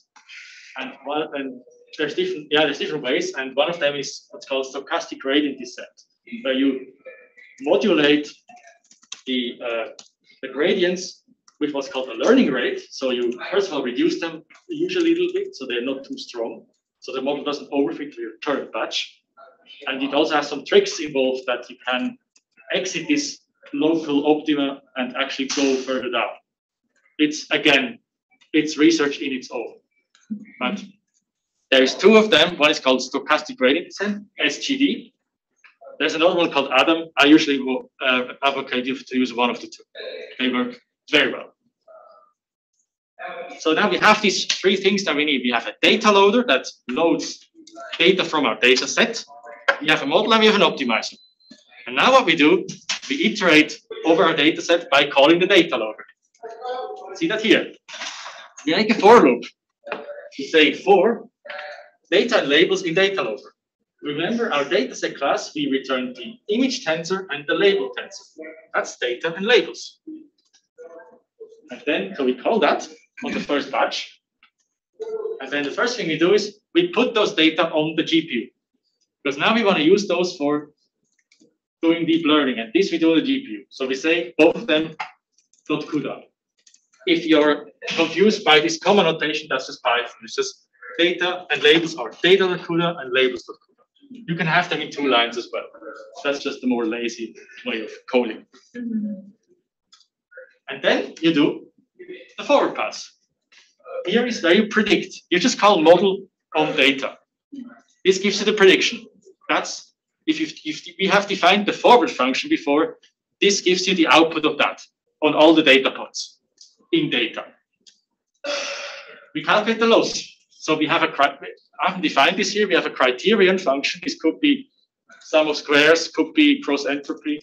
The loss function you have, where you compare the predictions with the labels, and this gives you a single value. This value here, this loss value, is a torch tensor. And this is a special tensor because this has all the prediction history of the model built in. All the gradients are built in. Because that's what AutoGrad does. PyTorch calculates the gradients as it moves along. And like it calculates the intermediate steps that are used for the gradient calculation. Let's say that. Yes. Um, so it's a criterion like a, built- a built-in function. criterion, uh, in this case, it's another instance of the class. And the classes are the loss functions. So For do we define the loss function? You define which loss, you say which loss function you want, or you define your own. For Okay, example, there is one, there's one called MSE loss, which means from, stands for mean squared error. That's the sum of squares. Will that be in which, do we have a separate, That's, that's built into PyTorch. I will show you an example. which script will it go? It's also in torch.nn, same as for the, Okay, right, yeah. because like, it also has a forward and a backward function. So any loss function that you're probably likely to use, it's already been defined and you just say which one you want to use. Yeah, I was just wondering where we say which one. Is is it Yeah, so you either would, you either would define your own instance of a loss function and you can define that for yourself, or there are existing functions that are already built in, and then you would just say loss equals MSE error of. Yes, to get into that. Yes, Okay, it might be a dumb question, but if you, so when you call model data, does it know to go to model.py, so you can have it as a separate script? yes, because you import it at the top. Oh, okay. you can import your own functions and classes just like you can import existing libraries. Again, I'll show you at the end. Yes, you will know that. So you calculate your loss, get a single value, and then this next step here might sound weird, but what you do is uh, you call the optimizer that we have defined, stochastic gradient descent, and say does zero grad. What, what this does is it has to calculate gradients for every parameter of your model. By default, PyTorch leaves these gradients as they are. So what you need to do is, if you have gradients from a previous iteration, they're going to stay there. You don't want that. You only want the gradients for your current batch. And this function sets all the gradients to zero, so you can start again with a fresh set of no gradients at all. Yes, please. Is there some reason why it doesn't just do that automatically? Because uh, yeah, there is there is advantages to that. For example, you can do what's called gradient accumulation, where you want to actively, you, for example, you can split your batch into small ones if it doesn't fit into GPU memory. You can say I want to do little batches one by one, accumulate the gradients, then do one big pass. Okay. It's rarely used. So other libraries, other deep learning implementations do this automatically. PyTorch doesn't. Okay. Gives you more flexibility, flexibility, one more line of code trade-off. And then this is the magical backward pass line. So this is where you calculate the backward pass, and even though you've never defined it, because Torch defines it for you, you call this on loss. You say you start with the single loss value, and from there you do what's called the back propagation through your model, calculate all the gradients until you reach the input. And then when you have these gradients, you want to apply them to your model parameters in the correct way. And this is this optimizer.step function, the very last one. So here is where, in this case, stochastic gradient descent jumps in, takes these gradients and modulates them with the learning rate, with whatever, and applies them to your model parameters. This is where your model starts learning, this step. And you see we have this in a loop. We do this over and over again for all the batches. Yes, thank you. Why do we not need to then take the data back to the CPU before the next loop? Good question. Because we redefine it here, it automatically gets uh, collected. So overwritten in the GPU memory. Yes. So in more hardcore programming languages like C++, you would have to do that, or you have a memory leak. In Python, you have what's called a garbage collector, which goes through and deletes variables you don't need anymore. You don't need to worry about this. Um, do you have maybe a suggestion of like a really simple GitHub repository, like the one that you showed us, just like a test here, that we can uh, look at just as an example? Yes, I will go through it at the end. I will give it all to all. Oh. I've I've actually hacked it together yesterday during the lecture, so. Oh, wonderful. Yes. Um, I know that we kind of had a bit of a discussion here, but it kind of went over my head. Um, how are you calling? So, did you like? Okay, so your data set here is something that you you created using the instance of my data set that you showed in your last slide, and then you pass it into the data loader. Yes. Okay. Okay. Exactly. Okay. That's exactly it. So this data, this lowercase data set is an instance of my data set we Yeah. defined, Okay. and you pass it to the data. loader. Okay. Thank you. Just didn't have enough space to put that. Sure. Thanks. Yes. Leslie, so with this for loop, you can have two items because they're the same length? Is that how, how can you do data labels in the for loop? So these data labels are the output of our dataset classes get item function. And they usually have to be the same length because you want the same number of elements in, uh, in all of your images and batches. If you have auxiliary information you need, you can return as many as you want. So in this case, we just have two because we have returned two, but you could return something else, a third thing, and then it would show up here as a third thing. You could add it. Yeah, I was just curious, like in the order that the for loop goes, it just goes through zero for both the data and labels and all of them at the same. Yeah, exactly. So that's the that's what this data loader does. Mm-hmm. You know, it calls it calls the get item function of the dataset for a couple of images. For if you have a batch size of 16, it calls it for 16 images. For each of these 16 images, it gets in this case data and label, like a torch tensor and an integer, and it then stacks them together for you. So you get something ready, combined already across all the batch images in the batch. Yes, So I guess like coming from other types of like modeling frameworks like sklearn or something where you can kind of systematically test out different parameters and like optimizers and uh, you know stuff like that and be like a grid search or something. Is there like a way to do something similar with PyTorch or is that like sort of nitpicky when it comes to deep learning models? Like So that's a good question. There is two parts to this. The first one is uh, should the first one is theoretical. Should you or how important is it to test different configurations? It's quite important. These are what's called hyperparameters. Like for example, these parameters you don't learn but you set by hand. Like for example, random forest, the number of trees. You have a million of those in deep learning, and you want to test a couple of them. Uh, you definitely want to do that. The second question is how you do that. There is libraries which kind of promise to do that for you, like you give them ranges of parameters and you test them all. I don't know. I've never used them. Maybe Sarah has more experience. I just I have. basically, I just basically uh, make a configuration and show you how to do that so you can test different experiments yourself. Okay. This is called hyperparameter tuning, and the way that people win Kaggle competitions is they basically will train like a thousand different neural networks on their massive like sets of GPUs and get the one that's like 0.2 percent better than all the other ones. Um, for us, because we're just in a more resource limited scenario, and like every conservation organization, honestly, most academics are in a more resource limited scenario. They're not like at with Google scale compute. Um, we still do hyperparameter tuning, but we do it much more, so we don't just sort of blanket do a grid search because we just don't have the resources to it at that scale. So instead, um, I usually, there's like a few things that I will tune, like for example, like the loss rate, like basically how big of a step you take at every one of these, in every one of these gradient steps. Um, that can be something you wanna tune, but I'll try like three different values to start with, see how they go, make an intelligent decision about what to try next, so it's more selective.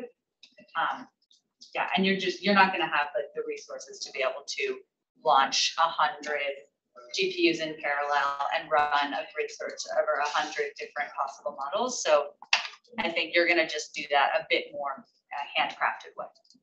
Right. Yeah, this is what we're gonna be doing. So, but in principle, that's the core, that's the core training process of people. These lines. And also, you see, again, about the question of when you do what. You do the data loading on the CPU, you do the deep learning stuff on the GPU, and you, you really exploit all the resources you have. Because the data loader is multi-threaded, you can say with number, because that's the number of processes you want to use to load the data. So you can you can tune that for maximum speed. With that, you really make your computer use all of the resources it has.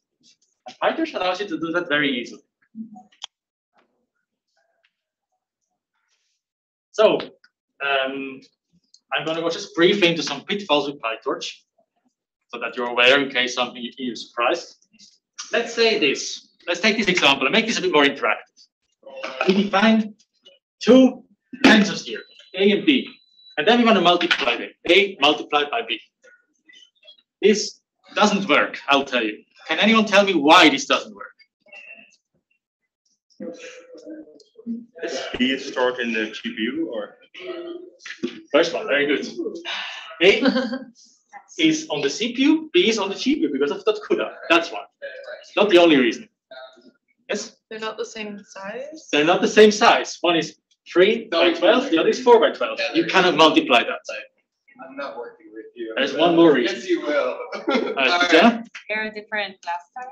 Exactly. There are different number types. The first one is floating point. The second is long, which means double precision integer. So 64 bit. So these are exactly the three reasons why this doesn't work. We have not the same size, not the same number type, and not the same device. So if you wanted to fix, I mean, you would have to start over if you wanted to fix this. but, but these are the three reasons, right? Second case. Why does this not work?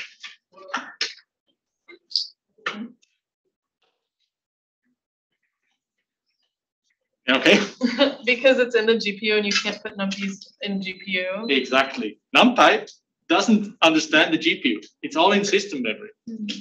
So if you wanted to fix this, yeah, still in GPU. If you wanted to fix this, what would you do? Very easy. Take it back into system memory. And how do you do that?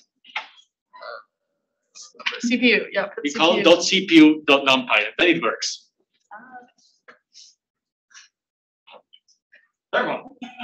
That's, I'm gonna give you the reason already. You cannot do a double backward cross. That's just a security mechanism because it doesn't make any sense usually. Hey, everyone, I'm so sorry. I have to go take a meeting. Um, but, uh, Ben, you're in very good hands with Benny, and I'll check in with everyone as soon as I'm done. Bye. See you. Uh, You still fit and have, uh, fit and attentive, otherwise we can take a little break, I don't know. If you're good, we're gonna continue. How much more is there? Otherwise, a five minute break might be nice. Yeah, I mean, it's, it's quite a bunch, so I think that's, once we have that finished, let's take a five minute break and then we continue. Yeah, you're happy be great, yeah. Very good.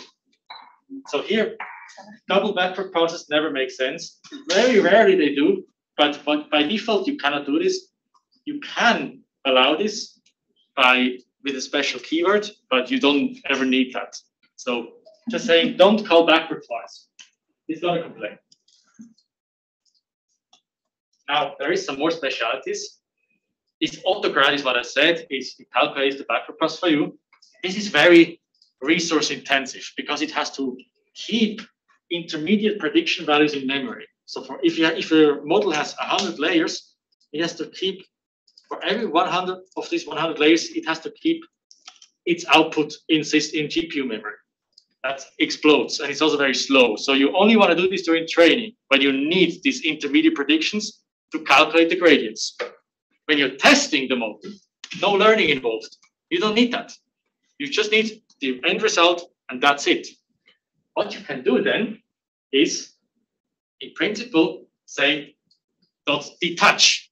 So for example, in this case, you can chain models together. Let's say you have model one, you apply that on data, you get pred one. And then you have a second model, and you want to apply this on pred one. You want to have, you want to apply this on the output of the first model. You can do that. For example, the first model could be MegaDetector. The second model is a classifier. That's a, that's a plausible scenario. And in this case, let's say you only want to train the second model, the classifier. You don't want to train MegaDetector. What you can do is called dot detach, which means it, it gets detached from the gradient graph that PyTorch constructs in the background. And that means that it just stops back propagation. So when you call, when you, cal- when you use this in a loss and you call loss of backward, it calculates the gradients from model two, but then it stops. That's very handy. And most of you are going to have one model. There's something even nicer. You just say this special keyword in Python that's useful with torch.no_grad. And then when you calculate the prediction here, you just get the prediction, no gradients. This is going to be twice as fast and going to use half as much memory as if you did it without it. These to use for getting predictions from your model in test phase. Use that. It's immensely useful.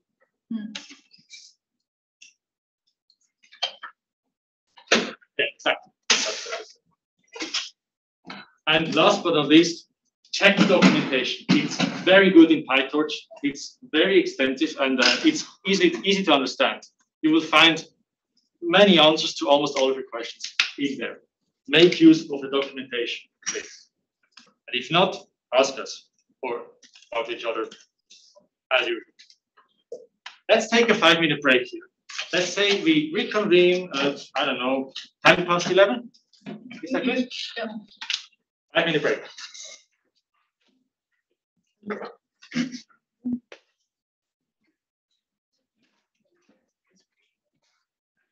Oh.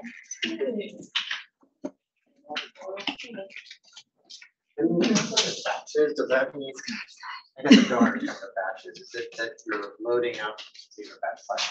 One, you're just, you know, one data point, you're doing that computation on that. Five, putting all five of those, computation once with all five, is that Yes, exactly. Why would you like? So in principle, you want to increase your batch size because if you just optimize on one data point at a time, you are very you are be controlled data. So you're very the data looks. Moving around, yes, I'm sure what you. Kind of zigzag around. With multiple data points, it kind of gives you a better gist of what the data set looks like. So your gradients are more streamlined. You can have two large batch sizes. Yeah. Uh, I, I mean, some people have said, ideally your batch size would be this. I don't know. I disagree. You might have to. Deep learning, you can have two large batch sizes, but the gradients just cancel each other out. So you want to set it sensibly. Usually set it so that it kind of exploits your GPU as much as possible. So How, how would you, how might you determine that? yeah. check the GPU. It also depends if you have, you can have, I mentioned it as well, connecting your disk. If it takes too much time to, too much effort to load the image from disk, the batch size is too large. You have to wait until all the images are loaded, until you can do the, the deep learning training process. Okay. In that case, you waste a lot of time by waiting for the disk to load. In that case, you want to reduce the batch size, so it has to load less stuff, put it on the GPU. Um, I would tune it for um, memory and speed efficiency. And this you can monitor. yeah, yeah. Something for the speaker to be outside. Oh, okay, now I emailed to, so the, the building manager is working from home days. right? I it. I emailed. So there's two things about the, um, about it. Oh, is Melanie here or Alex? I was trying to, I got, I got here later than I thought. Separate, but, so, so this is, there's this building. this room.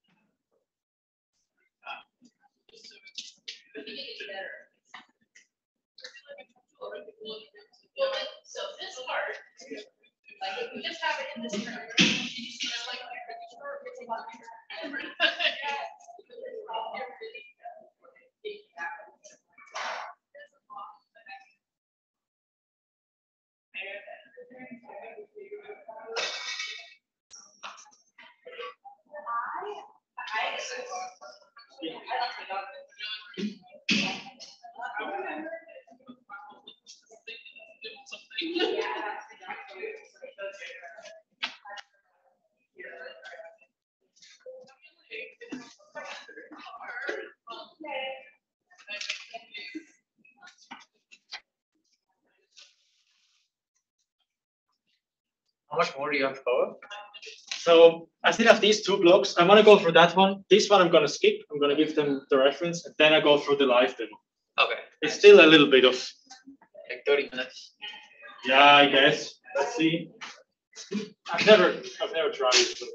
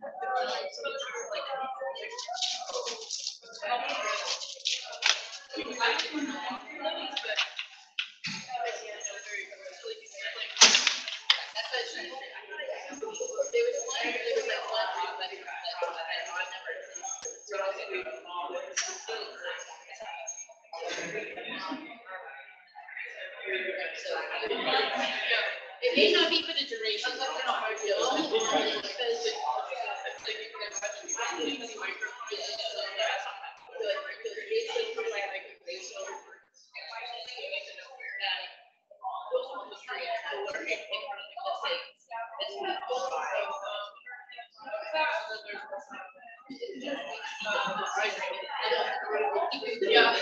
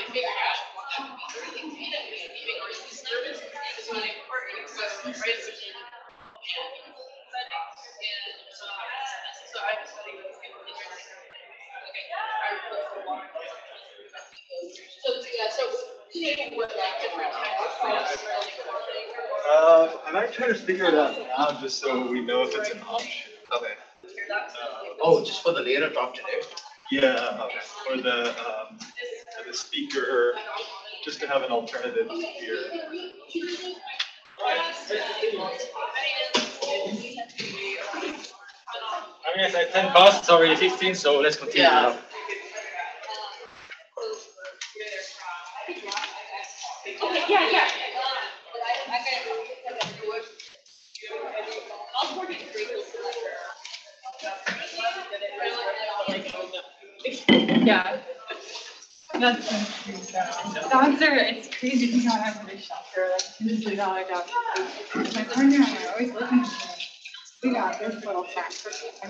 We just could garbage to the store. I know, I know. amazing. Yeah, same, same kind of deal. He was, you know, just being fostered by the, like, you know, by people working in the local county shelter. Yeah. Yeah. So, um, so. The resolution. Oh, yeah, it's, it's different for sure. Yeah, that's great. I feel like my cat is my weird roommate, but my puppy is like my baby. Oh. That's great. Is there a way to? Right, let's do this, y'all. Like forever. I got pumped here. Yeah. Yeah, I'm like, oh god. Repeat this. Tarun did it Yeah. yesterday. Uh, Farmer post.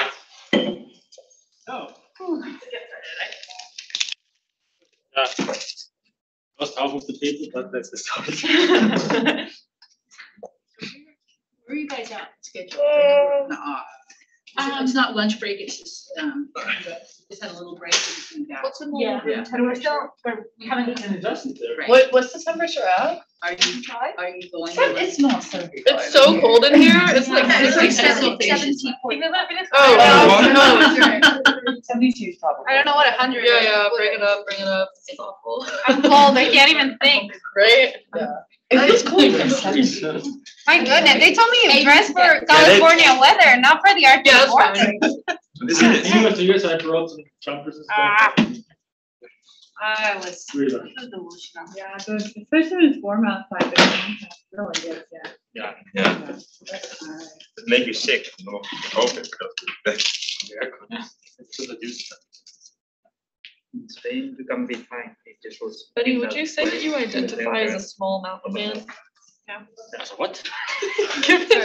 Your name doesn't, oh wait, does it say Kleinfelder? Oh no, it's Kleinfelder. Okay, I thought it said Cambio Kleinfelder. climático. Small mountain man. Basement mountain. Maybe I am a small mountain. You were Yeah, dumb. Keller, it's basement or Tengo, mountain, tengo right? 80. Keller Berger. Okay. Okay. It's it's one, No sé cuántos yeah, there's a place somewhere in the country called like that. It's Derby's Mountain, yeah, so, yeah. It actually checks out. Good, let's continue. Yay. Right, okay, so there's two more blocks I wanna go through, but I mean, technically, I think I'm gonna skip the last one. I'm gonna give it to you on the slides for reference. But this one, I'm gonna go through and then we're gonna recap it all in some sort of a live day. So hyperparameters. I've been telling you, these are the parameters you set by yourself and you tune without actually learning them. And for deep learning, we have a bunch. Again, regular parameters are what's being learned. I've brought up the example linear regression, ax plus b, a and b are the parameters. Deep learning has millions of them. Hyperparameters is what is set by you. And uh, I'm gonna give you a list afterwards of typical ones you might wanna set. And it actually is a bit of an art and a major part of training deep learning models. And it is not so straightforward because you don't have a You have some guidelines, but you don't always have your uh, clear heuristics on how you set hyperparameters. Many times when you ask machine learning people on why they came up with such a great model and what was their rationale for setting hyperparameters, they're like, they just try, trial and error. It's usually when you read in the paper, it empirically works best, then you know they have just tried, and everyone does it. But there is some standards. So again, long list. Not going to go through that in detail now. I'm going to give it to you for reference, but you see stuff like number of epochs, batch size we have talked about, which optimizer to use is also a hyperparameter. I can I put some defaults in here. There's more, but uh, this really depends on your project, on your data set, on your model, on your objective. If you, I, my, my take here is start with the details and adjust as you move along. At some point, you're going to get a feeling for that. So how do you actually test out different hyperparameters in your code in PyTorch? So in one way of doing is like, for example, when you define your optimizer, you just hard assign there in the code. See, you have LR, the learning rate, 10 to the power of minus 3, weight decay, same value. Fine, right? Sounds plausible.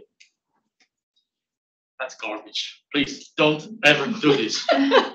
this is the worst. Because imagine you're going to have dozens of them in, in training deep learning models. If you have them somewhere in the middle of your code, this becomes unmanageable because you're going to forget what you've said somewhere because you don't know. You always have to search them when you need to change them. You cannot compare different experiments because at some point you're going to maybe set the learning rate uh, one dimension smaller and then you forget that. So if you do that in the code, it's bad. Just as almost as bad is when you define them at the top of your script.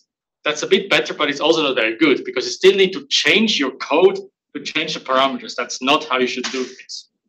You can do you have to do that in Jupyter, probably, but there's a better way of doing it in general. So one way of doing that is by what's called an argument parser. Hmm. Now, what is that? When you launch a command line interface, for example, I don't know if you've used the AWS CLI or Azure Copy, you gave it arguments. Or for example, if you said conda create dash n name, that dash n name is an argument, a command line argument, because you invoke the function from the command line and you specify, you feed it with arguments like, or copy. You want to copy one file from one location to another. You give, you say CP, first path, second path. These two paths are argument, command line arguments. You can do exactly the same in Python. You can say Python train.py and then give it arguments. And you need to parse them in Python. And you can do that with what's called an argument parse, this arg parse. Again, that's a class. And it's best you, you load this class up with arguments. Here, for example, LR for learning rate. You can say what type it is, you can give it a default, and then you can actually, when you initialize your optimizer, you could say it is the arguments is LR. And with that, you can really say, call your function python train.py dash dash LR, give it a value. So you so your values are independent from your code. That is better. And many people do that. Then there's people who are lazy and modify the defaults. And then you have the same problem again. There is an even better way of doing things, I believe. It's again, it's individual. That's what I recommend. And at least I use configuration files. You remember the YAML we had for the conda environment? YAML is just a way of putting configurations down. You can use that format for parameters. So here, for example, you can have a, a YAML file which has sections train and test. You could say the learning rate is this, the weight decay is that. You can specify all of your hyperparameters in a single configuration file. And then what you do is you call your training function with that configuration file as an argument, and it loads it from there. And you can create as many configuration files as you want. You want to try, you want to have an experiment where you try a different learning rate. You just make a different configuration file with a different learning rate. And all this, the rest stays the same. And with that, you have 100% knowledge about which parameters you've used. And you can specify anything in here, like which data set you use, what batch size, whatever. So with this, if you have these configuration files, you have full reproducibility. And, and of course, you have to install a package for that. It's called PyYAML, very simple. Add it to your requirements file, and you're good. And you can combine the two. So you can really say you have a config configuration file, for example, in a dedicated config folder. Name it properly, not my experiment, but name it according to experiment names with all your parameters. And in your train function, you have your argument parser, you specify where the config is, and you load it. And with that, you have all your hyperparameters in one place. I'll give you an example code on what this looks like. That actually oh, already is an example code, but I'll give you the red one. So with that, you can really organize experiments and separate hyperparameters from the implementation. So you have maximum reproducibility, and you know six months later what you have been doing. Because we all have been there, we've forgotten parameters and we try to replicate models and we had this before a paper deadline and suddenly a model didn't work anymore and we forgot what we have what we have been doing.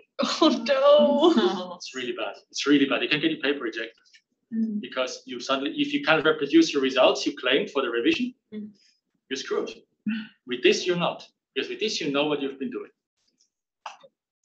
Again, a bit of extra work in the beginning saves you from a lot of trouble later on. Good. This I said I'm going to skip. I'm going to leave this to you to explore.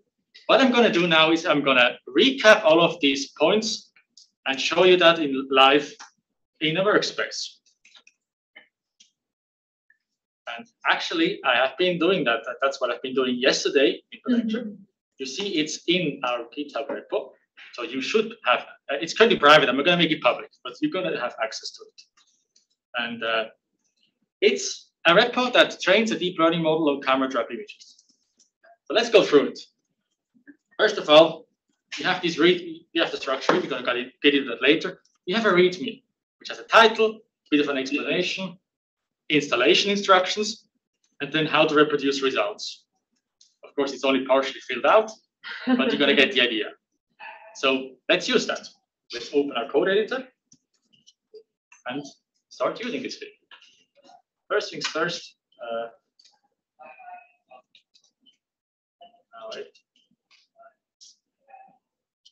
I need to connect to my machine for this. Be outside if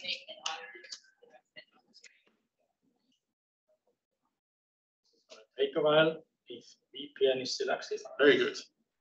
Okay, so let's simply just start by cloning the environment. So copy this and you say git clone. Load. There we go. Let's open that folder.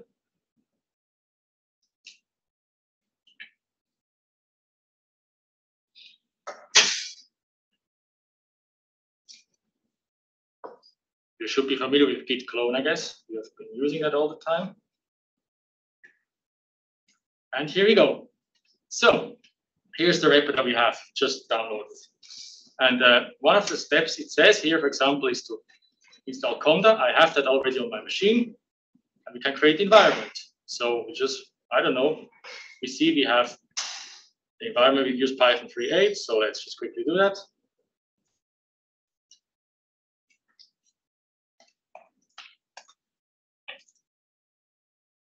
It's doing that now. And then we're gonna activate it, of course. And now we just install the requirements. You see, we have a requirements.txt file. So we just say pip install and then command line argument dash r read the contents of that requirements file.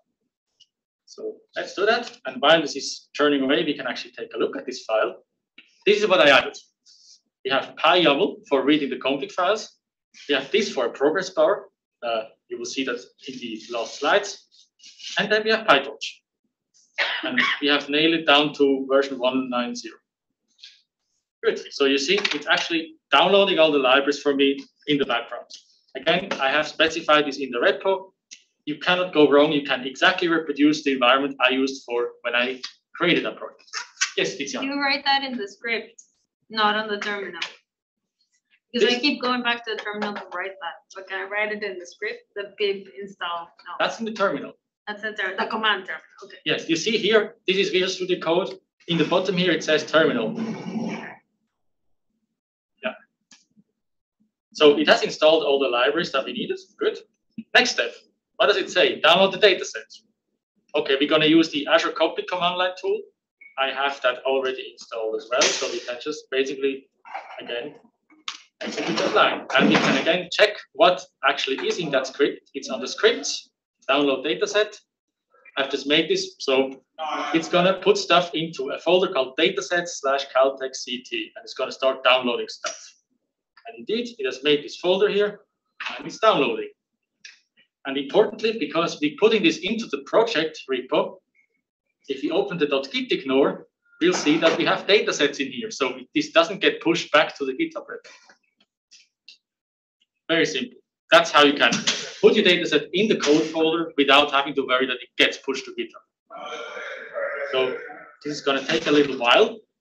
In the meantime, we can explore the rest in that repo. So what we have here is, see, we have different folders. We have the configuration folders where we put all of our YAML files. We have the actual code folder. We're going to get into that. We have the scripts folder that I made, so just download the data. We have the git ignore file. We have the license file. I talked about this in the beginning. And if you open this, you will see that this is just this is an MIT license, and GitHub has automatically understood it. It tells you what you can do, and it just GitHub parses this by itself. So add a license, and then everyone knows what you can do with your code. You have this README file that we're reading here, and you have the requirements file. Very good.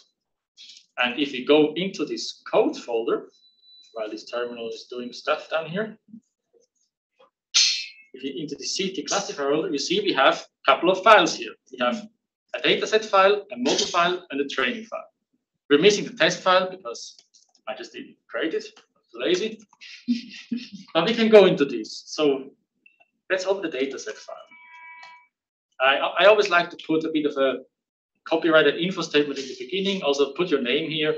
So to make sure it is actually you who has created this.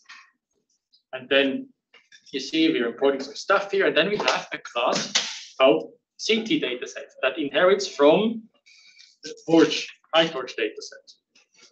And this has this init function, which is the constructor. In this case, we're just giving two arguments, I mean, apart from self. We're giving the configuration, the YAML contents, so which has all of our hyperparameters because we can specify dataset stuff in the configuration file too. And we're telling it, in this case, that we just, uh, what kind of split we want to use. Train, val, test. Remember Sarah's lecture yesterday. And then, of course, what we do here is we set up some stuff and we load our data.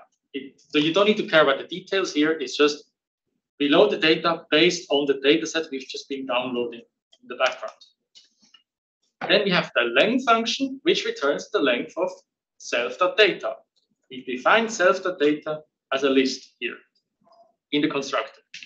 And down here is where we return the length. And then we have this get item function that I talked about, which takes a uh, value called index, which is a number, an integer. Return the image name and the label that we store in self.data. Here is where we actually load the image. We transform it into a PyTorch tensor, and then we return the tensor and the label. We return two values from this get item. And if you're going to train, we're going to see we're going to reuse those two values. Then model. Here's where we define our models. Again, preamble, bit of uh, explanation. In this case, we're going to use our ResNet 18. We have a class again, which inherits from nn.module. It has a constructor.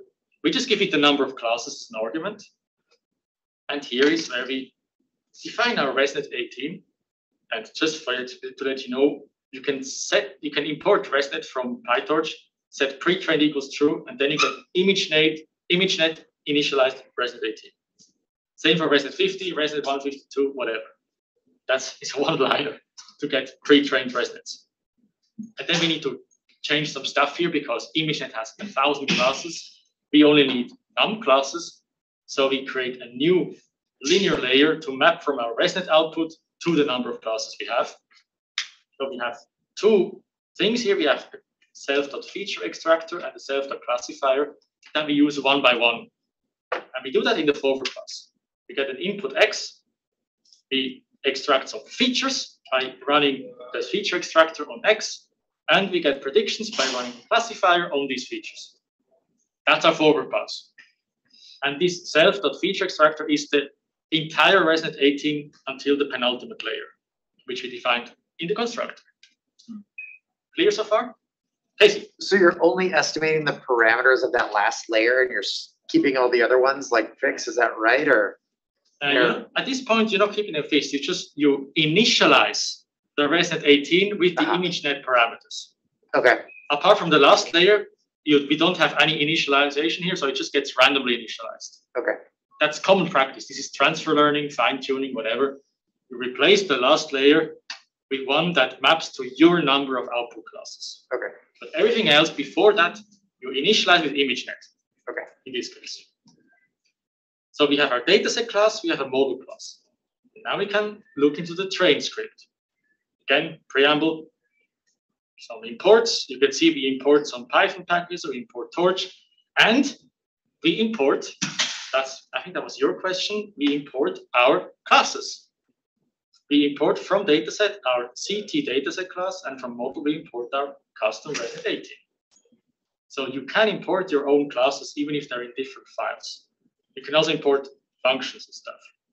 But we need this.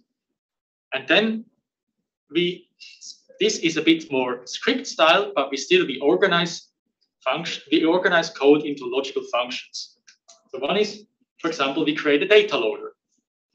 See, we have a function called create data loader. We tell which split it is. We first create a dataset instance.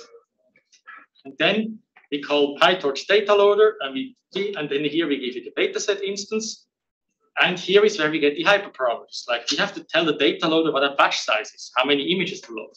So we have this configuration as an input argument, which is from our YAML file. And here we say we want to get argument batch size. We can tell it to shuffle. That's, I think that was also a question. We shuffle during training. And here we can also tell how many workers we have. So we have multi-threaded data loader. And we return the data loader. And you see again, it's not a class here, but it's a function. One function we can use for both the training and the validation data loader. Very easy. You, you define it once, you reuse it twice. We do exactly the same with the model. Initialize an instance of our custom ResNet 18 and we give it the number of classes we defined before. There is a little bit of stuff to load the parameters, which is going to be the slides at the end. But in the end, we return the model instance and which epoch we currently are. We have some function to save the model.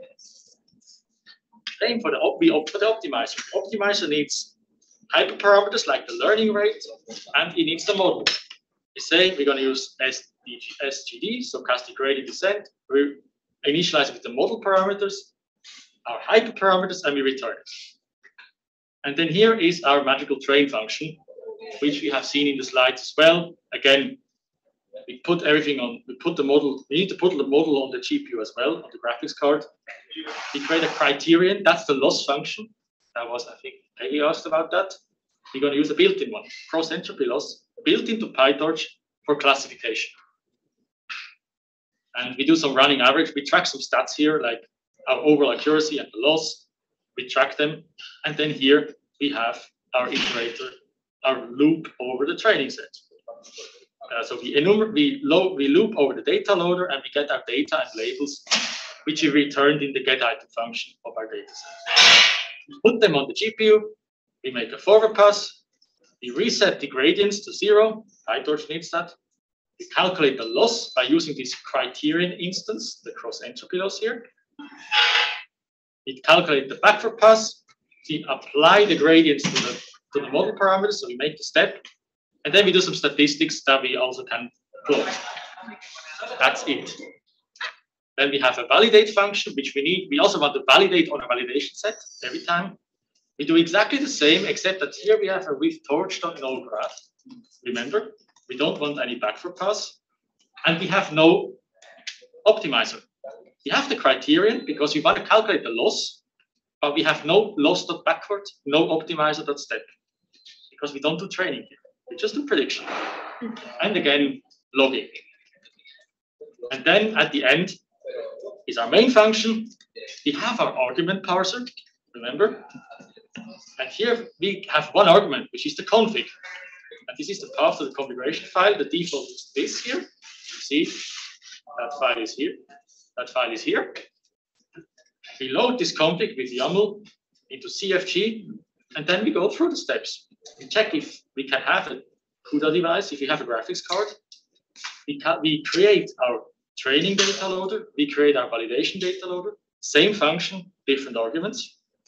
We, we load our model, we create the optimizer with the model and the configuration, and then we loop over the number of, of the, over the number of epochs we have. So this train function just does one epoch, one pass over the full training set.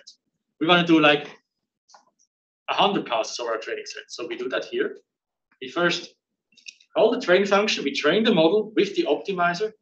We call the validate function without the optimizer. We save the model, and that's it.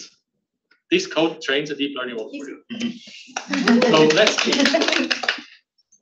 We have finished downloading the dataset. So what we need to do now is we need to select the new Conda environment we created, which is this one here, CV for ecology. And let's create, let's just run this. So you should be able to just run this train function because if you check on GitHub, reproduce results, we can, we can calculate, we can execute a train.py function. And because we have the default config, it's already in here. Um, we have a default here. This config, by the way, looks like this, this YAML file.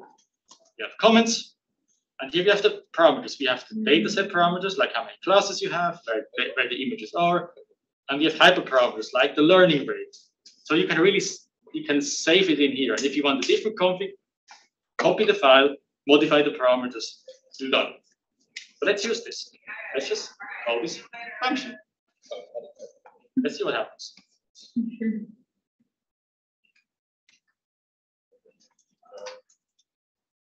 And there we go. It said it's it, it's using a it's starting a new model, and here we go. Now it's going through uh, for the training function. You see, it's actually pretty slow because there was something going wrong with the CUDA installation.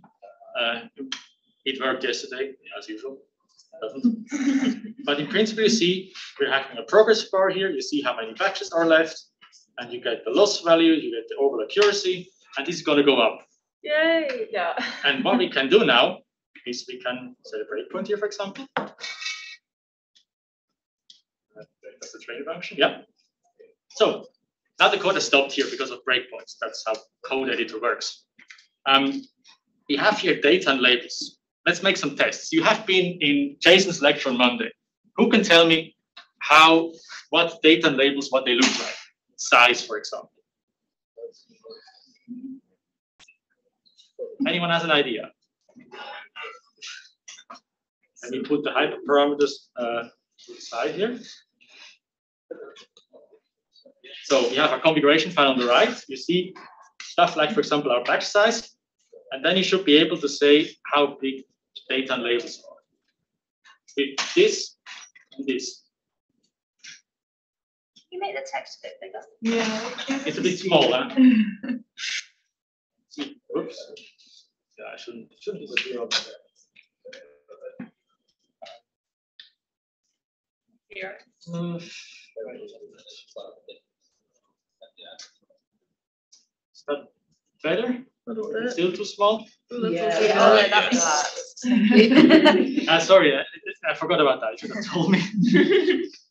so we are here in the middle of this training loop, which is post execution, so we can take a look. Data and labels. If you remember Jason's lecture, are of a particular size in that we have. Remember, these are batches of images in this case. So, The data would be one twenty-eight by two twenty-four by two twenty-four, and the labels would just be one twenty-eight. Very good. Almost perfect. Exactly. There is, yeah, no, you good. You got it. it's just, let's check data.size. You see, we have four dimensions. And why do we have the fourth one? We have 128, which is, remember the, the, the leftmost 128 is our batch size, right? Then we have three. What is free? RGB. RGB. Nothing's free, it's RGB. Mm-hmm. Exactly. So if you're working on remote sensing data, you might have 18. If you work with grayscale images, you might have one. And then since it's images, we have width and height, 224 by 224. And labels, you were 100% correct. Is just 128. And we can look into that. Labels, let's oh, check it. These are our index, indexes, indices. These are our class labels. And of course, we could look into data, but it would just be a, a big mess, yeah. And this is in difference to, for example, if we set another breakpoint in the dataset's get item function. So let's execute this and wait until we end up here. Now we're here in the get item function. If you check here, label, it's just one. It's one value because that's for one image. And of course, image tensor is a tensor. That's 3 by 3, 224 by 224 because it's one image. So what the data loader does, it takes these 128 images and it stacks them together and adds a fourth dimension in the beginning. It does it for you, so you don't have to worry. Yes. I don't really understand what the one hundred twenty-eight, is, the batch size. Okay, the batch size. So it is exactly what it says in that you iterate over your data set in batches. You don't iterate data point by data point. What you want to do is you want to combine multiple data points into one forward pass. And the reason you want to do this is, you know, deep learning works by gradients. If you only have one data point, its gradients, the gradients are kind of a bit sketchy because one data point is not going to tell you a lot about the data set. It's kind of a, you know, you want to have an overview over your data set at once. Because if you just have one data point, your gradients are going to go in all directions every time. So the model doesn't really know where to go. If you have multiple, your gradients get averaged, smoothed out, and streamlined towards the mean. So is that a fairly arbitrary number, one hundred twenty-eight? So the number depends on a lot of factors. First of all, it depends on how much GPU memory you've got. It also depends on how big your data size, data set is, like your images are. It depends on how big your model is. It depends on the objective. You can have batch sizes of two or one for, for example, object detection. You can have batch sizes of 4,000 for very small images. Start with 128. If you real, if you feel that your memory going out of memory, then switch. Actually, let's take a look at that because I can switch to another environment where uh, the GPU should work. Let's try that again and run it on the GPU. So let's see. So in this code you see that this progress bar also gives you a speed indicator, I think. It was, you can see, you saw it was very slow. So let's try again if we have the GPU. I hope this works.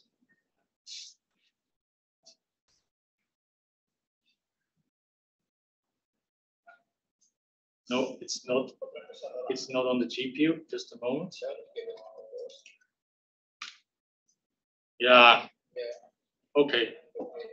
Very common. My NVIDIA driver crashed, so I don't have a GPU. I cannot demonstrate it to you, but in principle, you want to be running stuff on the GPU, and then you have the tools to check how much memory you use, and and so on.